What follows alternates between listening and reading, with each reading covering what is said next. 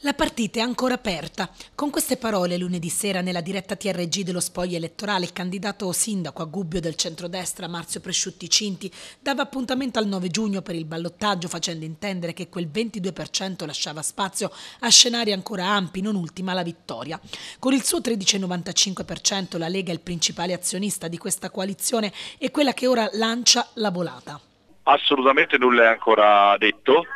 abbiamo visto Rovizzi cinque anni fa in un recupero mostruoso e, e, domenica scorsa ha vinto col 60%, quindi certi progetti si iniziano anche in condizioni un pochino più difficili. Io credo che a Gubbio ci sia stata una bella risposta da parte dei cittadini, chi vuol cambiare con un sistema ormai veramente stanco e, e marcio, come abbiamo anche letto sui giornali, deve votare Marzio Presciutti Cinti, deve votare chi sostiene la Lega, perché fra tre mesi cambieremo anche l'Umbria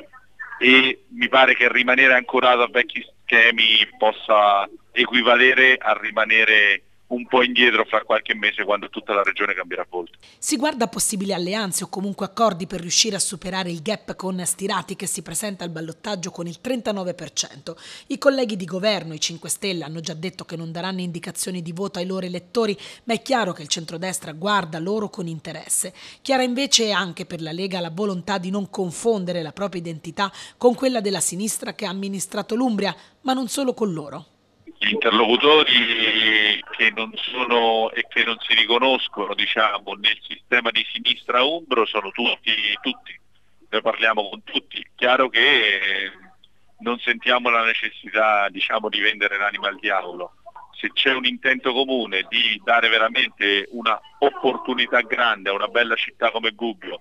per poter cambiare siamo a disposizione. Certo non lo facciamo con chi cerca vendette, noi non siamo il partito che tiene dentro coloro che hanno altri obiettivi se non il bene del territorio e del comune. Chi cerca vendette sul sindaco Stirati se le deve combattere da solo le proprie guerre. Noi siamo qua con senso di responsabilità per amministrare bene Gubbio.